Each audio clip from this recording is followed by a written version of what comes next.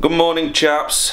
I'm a little bleary eyed somewhat but it's Sunday and I'm going to go into work. I'm hoping to put some more legs and some more tanks just to get us a step closer to completion this week and maybe some other fittings depending on the time but the weather's dropped again and we are white over so this will make for a romantic drive through the snow time-lapsey start of the video to work kind of thing let's go Wow,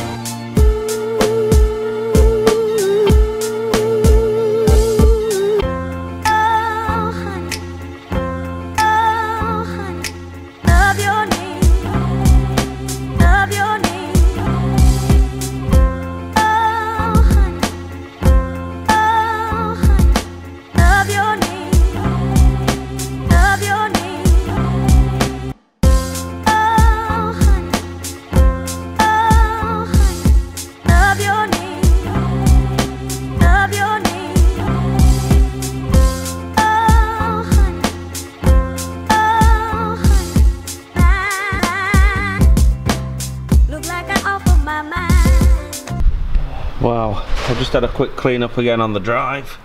Took the snow to one side. Not too bad though. A Bit of sand for grippage on the floor. And the first thing I'm going to do today is put that damn kettle on and make myself a nice hot coffee. Mainly just to hold and uh, kind of warm my fingers up. The Empire of Noodle.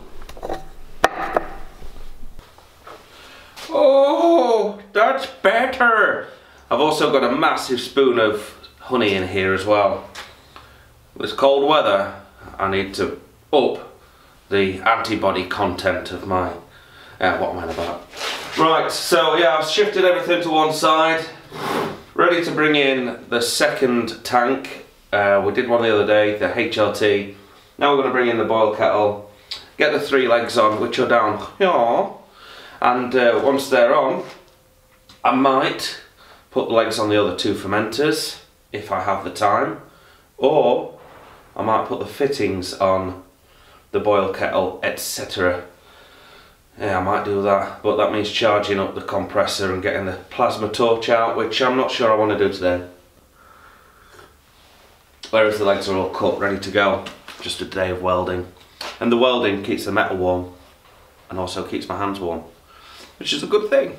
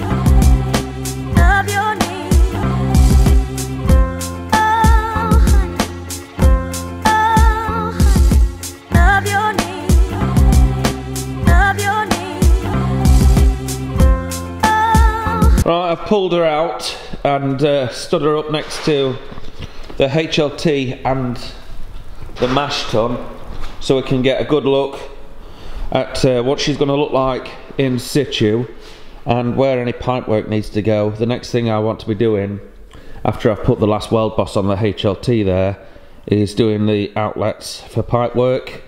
We've got the main outlet at the bottom, obviously that's a fully draining outlet. We're going to want another one on there to allow the product out and recirculate the product.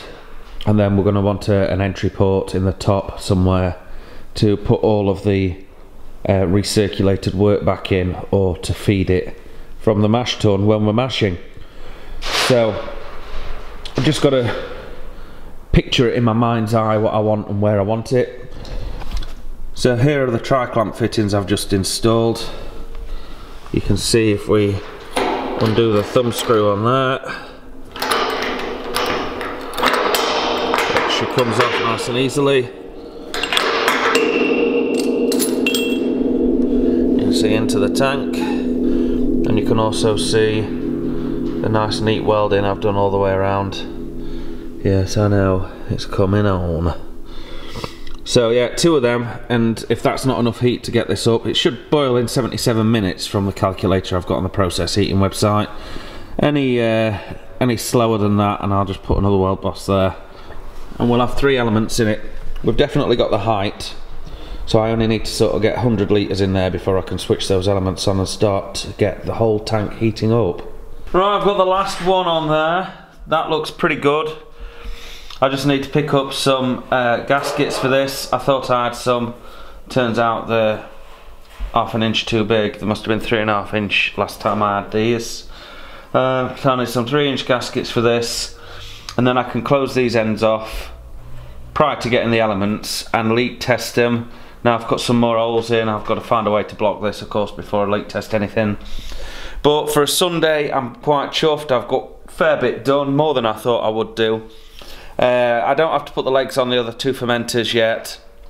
I think I'd, I'd like to do it, uh, but I'd rather get these tanks up and running first.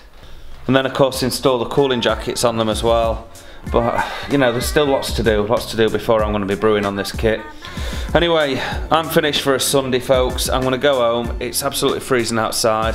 I'm going to relax with some nice grub and uh, maybe a beer or two. So I'll see you tomorrow.